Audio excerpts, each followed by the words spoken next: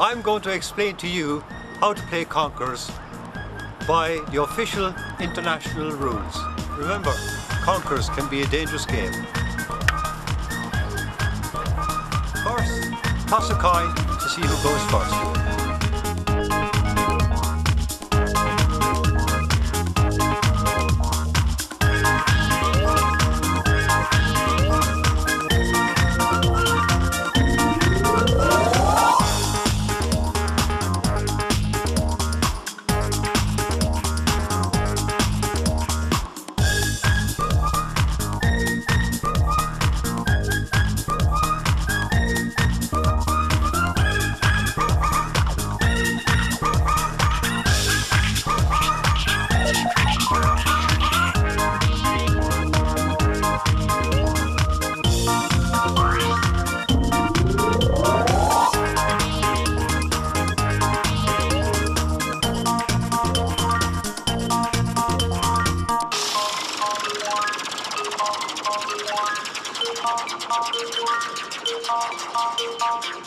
If your opponent drops their conker, you can call stamps before they pick it up and crush it underfoot.